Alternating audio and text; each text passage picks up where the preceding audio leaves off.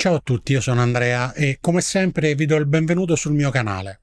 La storia che vi riporterò oggi è dell'incredibile. Torniamo negli Stati Uniti e vogliamo fino a Price, nello Utah. La bambina sorridente in questa foto è Eddie Jones, di 4 anni, ed è in posa su una scena del crimine, un crimine che non potrebbe coinvolgerla più da vicino. È lì infatti che pochi giorni prima che questa foto fosse scattata, il 31 luglio del 1970, la bambina aveva trovato sua madre Loretta morta in una pozza di sangue. Le circostanze dell'omicidio di Loretta Jones sono rimaste un mistero per quasi 40 anni, fino a quando proprio sua figlia Heidi non è riuscita a risolvere il caso semplicemente guardando con più attenzione la foto che vi ho mostrato poco fa. La chiave per trovare l'assassino, infatti, era rimasta nascosta all'interno di quella foto per tutto il tempo. Un altro mistero, almeno per me, è ma chi cavolo ha portato una bambina sulla scena del crimine dove hanno ucciso la sua mamma e l'ha fatta mettere in posa per una foto? Veramente a volte succedono cose che in un film sarebbero completamente inverosimili. Ed invece, boh. Prima di partire vi ricordo di iscrivervi al mio canale così da non perdere i prossimi video e di lasciare un commento ed un like e soprattutto di condividere il video se questo vi ha interessato. Andiamo adesso ad iniziare.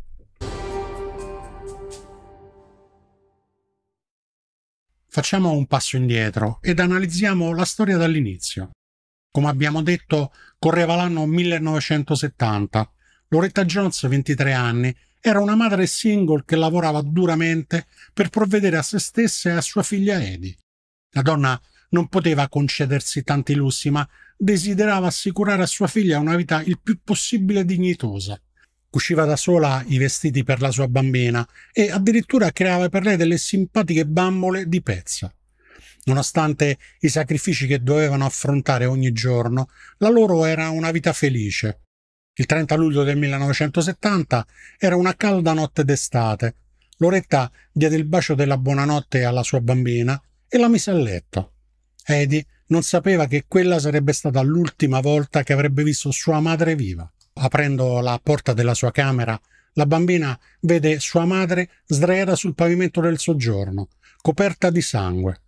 Terrorizzata uscì di corsa di casa, incontrò un vicino che stava perlustrando il suo prato alla ricerca di vermi che gli servivano per andare a pesca e gli disse Penso che mia madre sia morta.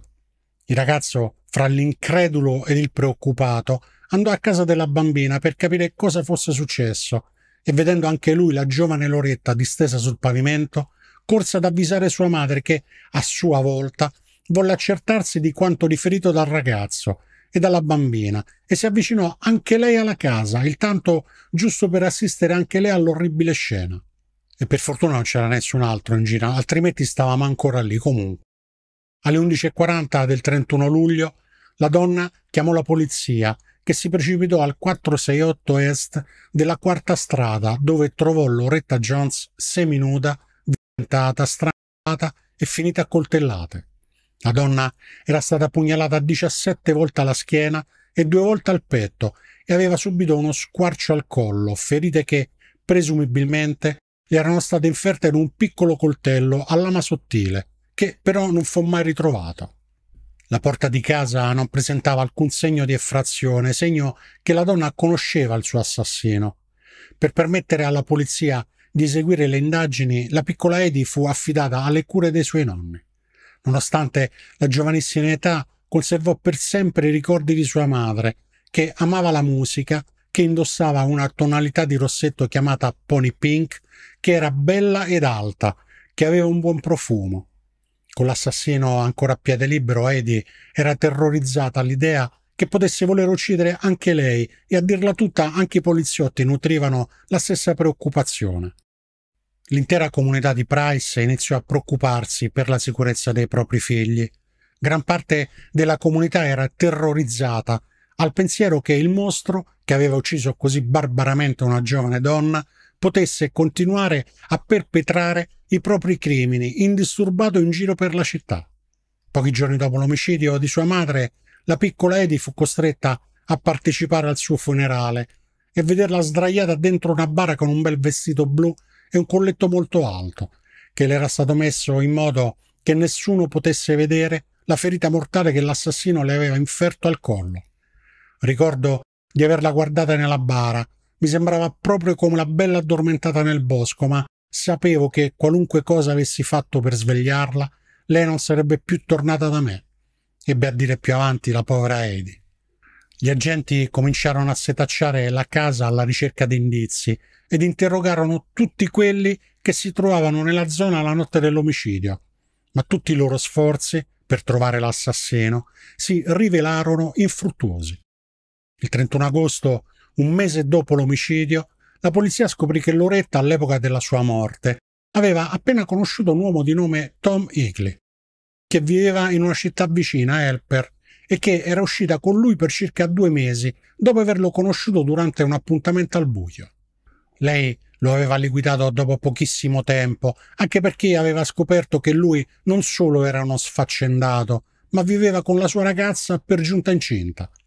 Non avendo altri sospettati e ritenendo che l'uomo potesse essere il colpevole dell'omicidio, la polizia lo fermò. Il giudice incaricato di istruire il processo contro di lui, Tom Platis, ritenne che l'uomo, comunque, anche se essendo indulgente, avesse diritto ad avere un difensore e nominò un avvocato d'ufficio perché seguisse il suo caso.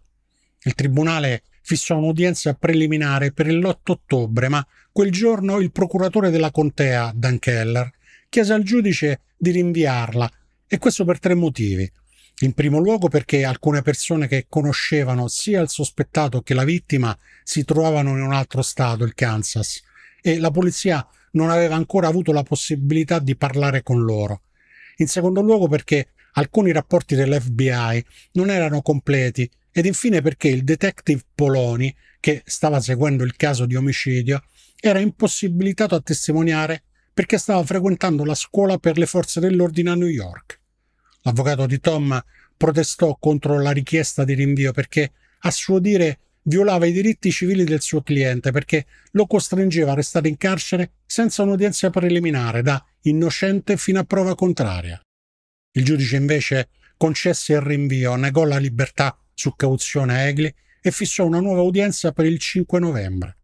Quel giorno l'accusa chiese al giudice di accusare formalmente Egli dell'omicidio di Loretta, ma questi alla fine, ritenendo che non fossero state presentate prove sufficienti della sua colpevolezza, ne ordinò il rilascio immediato.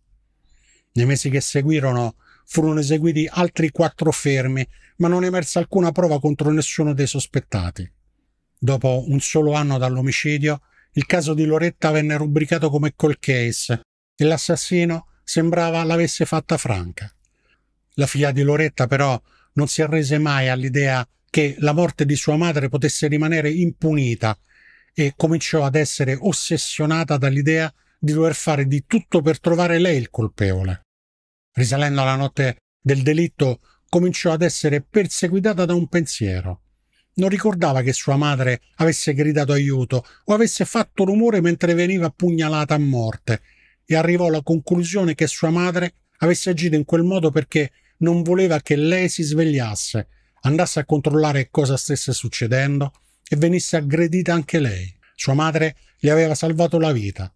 Da quel momento, perseguitata dai sensi di colpa e dalla rabbia, il suo unico scopo nella vita divenne trovare il suo assassino. Nonostante i consigli dei familiari e amici di andare avanti con la sua vita, Eddie si convinse invece ogni giorno di più a proseguire la sua battaglia. Nel 1989 Eddie compì 23 anni, la stessa età che, che aveva sua madre quando era stata uccisa. Ispirata da un programma televisivo chiamato Unsolved Mysteries, Misteri irrisolti, iniziò ad inviare un'enorme quantità di lettere per chiedere la riapertura del caso. Al Dipartimento di Polizia della città di Price, allo sceriffo della contea di Carbon, all'FBI, ma nessuno di loro le rispose. La ragazza non si perse d'animo e continuò ad inviare lettere su lettere a chiunque, al fine di mantenere viva l'attenzione sul caso di sua madre. Passarono altri anni senza nessuna risposta da parte di nessuna autorità. Dopo circa 36 anni, l'assassino camminava ancora libero per le strade. Avvicinandosi al suo quarantesimo compleanno, Eddie prese una decisione coraggiosa. Lasciò tutto ciò che aveva e tornò alla sua città natale, Price, con l'unica intenzione di risolvere l'omicidio di sua madre. Lì si confrontò con sua nonna che di nuovo cercò di convincerla a lasciar perdere. La donna desiderava soltanto che sua figlia Loretta potesse riposare in pace e soprattutto era straziata nel vedere che sua nipote non riuscisse ad andare avanti con la sua vita. Nel 2009 Heidi riallacciò per caso i contatti con un suo amico d'infanzia, David Brewer, che aveva commentato un suo post su Facebook Qualcuno la notte scorsa mi ha rubato la macchina. Buon 4 luglio. Scoprì che David era diventato un poliziotto, perciò decise di chiedergli di aiutarla a trovare l'assassino di sua madre. Ripercorrendo con la mente tutto ciò che riusciva a ricordare di quella notte del 31 luglio del 1970. Raccontò al suo amico di essersi svegliata di soprassalto, di essere andata davanti alla porta della camera da letto, di aver guardato dal buco della serratura e di aver visto qualcosa che all'inizio aveva pensato fosse solo un mucchio di biancheria. Quando però aveva aperto la porta aveva trovato sua madre a terra in una puzza di sangue. Sotto shock si era precipitata fuori casa, era andata dai vicini e aveva detto loro che sua madre era morta. David ascoltò la storia di Eddie e non riuscì a credere di non aver mai saputo dell'omicidio di Loretta perché la sua amica non ne aveva mai parlato a scuola. Eddie si aspettava che David si rifiutasse di aiutarla perché in effetti il caso sembrava irrisolvibile. L'uomo invece, commosso dalla sua storia, decise di riaprire il caso dell'omicidio di Loretta Jones. Il suo primo passo fu quello di rivedere il file del caso in originale ma si trovò subito di fronte a un grave ostacolo che minacciava di fermare del tutto l'indagine. I fascicoli del caso erano andati perduti da tempo. A quel punto, inoltre, la maggior parte delle persone coinvolte nel caso erano morte o così anziane che c'era la preoccupazione che i loro ricordi fossero ormai annebbiati o dal tempo o dall'età. A parte vecchi ritagli di giornale, David poteva contare soltanto sulla testimonianza scritta dei soccorritori che per primi erano arrivati sulla scena del delitto. Loretta si trovava sdraiata su un fianco, con la mano in una pozza di sangue, colpita da 17 coltellate alla schiena e due al petto. Il detective Brower scoprì che i primi soccorritori non avevano trovato alcun segno di scasso nella porta di casa e, scoperta ancora più scioccante, ricavata dall'autopsia eseguita sulla donna, che Loretta non aveva reagito al suo aggressore. Non presentava, infatti, alcuna ferita da difesa. Perché Loretta non aveva combattuto per salvarsi la vita? Probabilmente perché, come aveva sospettato Eddie, voleva proteggere la sua bambina, temeva che anche sua figlia potesse essere aggredita. Era stato probabilmente l'ultimo atto di amore incondizionato che la mamma potesse fare per la propria figlia. Sapeva che se avesse urlato la bambina si sarebbe svegliata e probabilmente avrebbe fatto la sua stessa orribile fine. Anche se David aveva raccolto maggiori dettagli sul crimine, non aveva però prove della scena del crimine e nessun indizio sul possibile sospettato. La probabilità di risolvere il caso a quel punto era praticamente nulla. David decise di dover comunicare a Dady il suo fallimento. Le spiegò che senza prove forensi c'era poco che potesse fare se solo avesse avuto una foto della scena del crimine, avrebbe potuto avere qualcosa su cui lavorare. Egli allora si ricordò di una scatola di effetti personali che sua nonna aveva conservato per tutti quegli anni. La donna aveva messo tutto ciò che riguardava l'omicidio di sua figlia lì dentro.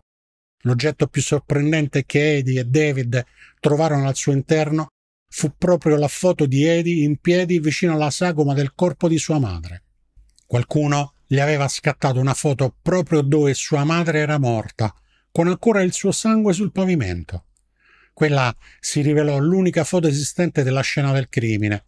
Insieme alla foto, nella cassetta, i due trovarono anche il ritaglio di un giornale nel quale un uomo, di nome Tom Egli, veniva scortato da un agente di polizia. Nella foto, che era stata pubblicata dal giornale Sun Advocate, si vedeva Egli camminare tranquillo, sigaretta in mano, senza manette, attraverso il parcheggio dell'allora Tribunale della Contea di Carbon, mentre parlava con disinvoltura con, loro, con l'allora capo della polizia di Price, Arpoloni, che si trovava a circa 4 metri di distanza da lui. Era il giorno in cui Egli era stato portato in tribunale per scoprire se sarebbe stato processato o meno. David scoprì che Tom Egli era stato l'unico sospettato nel caso di omicidio e aveva trascorso soli tre mesi in carcere per poi essere rilasciato dal giudice per mancanza di prove incriminanti. Poco dopo Tom Egli aveva lasciato lo Utah per iniziare una nuova vita in Colorado. Rovistando nella cassettina della nonna, Eddie fece poi una scoperta scioccante. Trovò il diario in cui sua nonna aveva scritto ogni singola cosa che lei aveva detto dopo quella fatidica notte. La prima nota era stata scritta la stessa notte in cui Loretta era stata trovata morta ed era una frase agghiacciante. È stato Tom ad uccidere la mia mamma. L'ho visto dal buco della serratura. Ha detto alla mamma sto venendo ad ucciderti e quando avrò finito con te forse ucciderò anche tua figlia. Poi la mamma è caduta, era morta. Perché quel Tom ha ucciso la mia mamma? Era cattivo con la mia mamma, la picchiava sempre. Per Edi fu terribile leggere quelle parole e soprattutto scoprire di aver visto molto di più di quello che ricordava. Sì, ma la nonna aveva avvisato gli investigatori. Oppure questi, trattandosi delle parole di una bambina, forse non le avevano dato peso. Leggendo quel diario, i ricordi a lungo sopiti della mente di Edi cominciarono a riaffiorare e alla fine la donna ricordò l'ultima cosa che sua madre le aveva detto quella notte. Non uscire dalla camera. Sicuramente Loretta sapeva che quell'uomo, se così vogliamo chiamarlo, avrebbe potuto fare del male alla sua bambina e aveva voluto proteggerla. Purtroppo nessuno aveva dato peso alle parole della bambina e come abbiamo visto anche la nonna ad un certo punto decise di abbandonare l'idea che l'assassino di sua figlia fosse mai trovato. Consultando altri giornali dell'epoca che parlavano del caso di Loretta, David trovò un articolo che parlava di un'altra aggressione che si era consumata proprio la notte in cui Loretta era stata uccisa, a soli tre isolati di distanza da casa sua. Infatti c'era stato il tentativo di rapimento di una bambina di 10 anni, Lori Kalov, Sembrava una coincidenza troppo bizzarra che ci fossero due criminali che avevano aggredito due persone nello stesso tranquillo quartiere nello stesso giorno. No, non poteva essere solo una coincidenza. Entrambi i crimini dovevano essere stati commessi dalla stessa persona. Investigando maggiormente sul caso di rapimento, David scoprì che alle 21.30 del 30 luglio Lori e suo fratello erano in sella alle loro biciclette di fronte alla loro casa. Lori si era resa conto che suo fratello era già rientrato a casa e, avendo notato che ormai si stava facendo buio, aveva deciso di tornare a casa anche lei. Aveva lasciato la sua bicicletta e si era incamminata verso la porta di casa. Poco prima di raggiungerla, un uomo le aveva messo una mano sulla bocca per impedirle di urlare, ma lei ci aveva sputato la sua gomma, la sua gomma da masticare. La mano dell'uomo era scivolato lungo la bocca della bambina, abbastanza da permetterle di gridare aiuto. L'uomo, temendo di poter essere scoperto, si era dato alla fuga. La sua corsa non passò inosservata. Infatti in casa di Lori c'erano suo fratello, un'amica del suo patrigno, che alla vista di quella scena si precipitò all'inseguimento dello schifoso verme. No, scusate, all'inseguimento del pover'uomo che sicuramente si comportava così per dei traumi che aveva subito da ragazzo e che quindi merita tutta la nostra stima e comprensione, ma purtroppo lo perse di vista mentre correva proprio verso la casa di Loretta. Dobbiamo ricordarci di non essere cattivi e soprattutto non giudicare anche chi si macchia di questi crimini orrendi e disgustosi. Bisogna capire ed accettarli. Il detective Brewer capì che Lori aveva visto in faccia l'assassino di Loretta quella notte e decise di mettersi in contatto con lei. David Brewer, dopo aver appreso le ultime novità da Eddie, decise che era arrivato il momento di incontrare Lori e chiederle una descrizione dell'uomo che aveva visto quella notte. La ragazza Gli disse di ricordare che aveva i capelli e gli occhi castani e che non era molto alto, intorno al metro e 75. David Brower rintracciò Egli nella sua attuale residenza di Helper. L'uomo aveva vissuto in molti posti prima e dopo l'uccisione di Loretta, abusando di droghe ed alcol e non aveva condotto una vita familiare stabile. Si era sposato tre volte e aveva avuto cinque figli, ma tutto sommato, nonostante qualche piccolo problema con la legge, aveva vissuto una vita tranquilla, al contrario della famiglia di Loretta che, invece, aveva trascorso in lutto ogni singolo giorno della sua vita. Egli negò qualsiasi coinvolgimento nell'omicidio, disse addirittura di non ricordare affatto Loretta. Stranamente però riusciva a ricordare esattamente cosa avesse fatto la sera dell'omicidio, decenni prima. Aveva bevuto dei drink in un bar della città e aveva mangiato un hamburger. La proprietaria del bar Highway Rendezvous Club confermò di averlo visto quella sera, intorno alle 23.30, ma disse anche di aver notato che l'uomo indossava una camicia con delle vistose macchie rosse. Io veramente rimango basito ed anche un po' preoccupato dalla mia memoria. Questi si ricordano quello che hanno visto fatto decenni prima. E io se devo dire cosa ho mangiato ieri sera a cena ho seri problemi. Boh. Brewer riuscì anche a parlare con l'allora fidanzata di Egli, che gli rivelò alcune informazioni molto importanti. La notte dell'omicidio di Loretta, l'uomo era tornato a casa molto tardi ed aveva subito fatto il bagno, con tutti i vestiti addosso. Il giorno dopo era andato in una lavanderia a gettoni e quando era tornato non aveva riportato con sé alcuni dei capi di abbigliamento. La donna aveva trovato strano che il suo compagno si fosse preoccupato di fare il bucato, anche perché prima di allora non gli era mai passato per l'anticamera del cervello di farlo. Fortunatamente gli investigatori potevano contare su un testimone chiave, Lori Callon, che alla centrale di polizia identificò Tom Egli come l'uomo che aveva cercato di rapirla. Brower decise che in qualche modo sarebbe riuscito a dimostrare che l'ormai 76enne era anche l'assassino di Loretta. Nonostante fosse sicuro di avere il sospettato giusto, però il detective Brower sapeva di non avere prove sufficienti per convincere un giudice a processarlo e sapeva che se non fosse riuscito ad ottenere una confessione da lui, la sua unica opzione sarebbe stata ottenere una corrispondenza col suo DNA. Consultandosi con degli esperti forensi e altri detective qualificati, a David venne in mente un'idea folle. Per trovare le prove del DNA ad incostrare l'uomo, avrebbe dovuto cercare le sue tracce nel solo posto in cui l'uomo avrebbe potuto lasciarle, sul corpo di Loretta. David prese il coraggio a due mani e chiamò Eddie per chiederle il permesso di procedere. La risposta di Eddie fu inaspettatamente entusiastica. Se quello era l'unico modo per inchiodare l'uomo alle sue responsabilità, avrebbe scavato lei stessa per riportare alla luce il corpo di sua madre e renderle giustizia. A giugno del 2016 il corpo di Loretta Jones viene riesumato. L'operazione fu molto pubblicizzata sui media su richiesta della polizia che voleva assicurarsi che la notizia raggiungesse alle orecchie di Tom Hagley. La notizia inoltre portò alcune persone a contattare la polizia per fornire indicazioni cruciali. La più macabra e scioccante che David ricevette provenne da una donna di nome Linda, che aveva vissuto con i genitori di Loretta quando era una studentessa universitaria. La donna gli disse: Ehi, ho delle informazioni che potresti trovare veramente interessanti. Sapevi che Loretta ha scritto il nome del suo assassino con il sangue?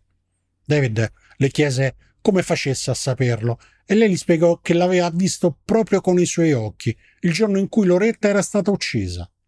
All'inizio David non le credette, ma poi decise di chiedere agli esperti della scientifica di riesaminare l'unica foto della scena del crimine, il loro possesso. Loro, grazie alle moderne tecnologie, riuscirono a leggere chiaramente sul pavimento la lettera T e la lettera O, naturalmente l'iniziale del nome Tom. Loretta, mentre esalava il suo ultimo respiro, era riuscita a trovare la forza di lasciare un indizio che potesse aiutare la polizia a catturare il suo assassino. Poco tempo dopo, l'agente di polizia Barry Briner, che era arrivato per primo sulla scena del crimine, contattò il detective David Brewer per dirgli di avere segnalato anche lui nel suo rapporto iniziale di aver notato le lettere T ed O sul pavimento, vicino al corpo di Loretta, ma questo particolare non era mai stato preso in considerazione durante le indagini. Purtroppo, dopo più di 40 anni, tutte le dichiarazioni del periodo riguardante il crimine erano andate perdute. A quel punto tutto dipendeva dai risultati dell'esumazione che però non diedero i risultati sperati e gettarono di nuovo tutti nello sconforto.